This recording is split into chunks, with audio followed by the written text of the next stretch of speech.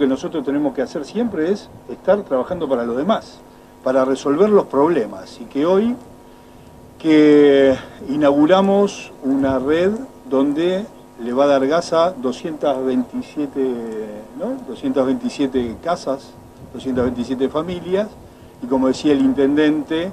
227 personas que le van a mejorar la vida. Y la gobernadora nos decía ayer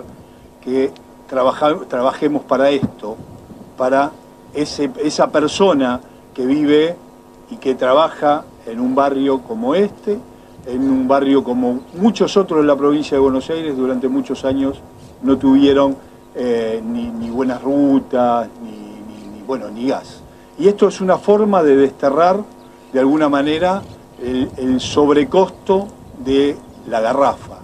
Y cuando uno le mejora la vida, como decía el intendente, los pueblos empiezan a estar más felices y nosotros la multiplicación de felicidad convierte a una provincia más feliz, una provincia más justa y esto demuestra además que cuando todos estamos trabajando mancomunadamente para que algo salga, esa cosa sale, sin importar las ideas políticas, sin importar de qué partido es uno, cuando uno trabaja para el prójimo, las cosas salen, las cosas funcionan. Y esto es lo que felicito al intendente, felicito al presidente, felicito al ex intendente también,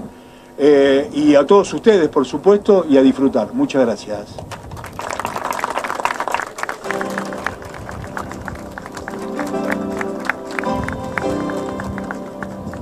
Para simbolizar entonces la llegada de este servicio vital e imprescindible para todo el pueblo de Nesinar,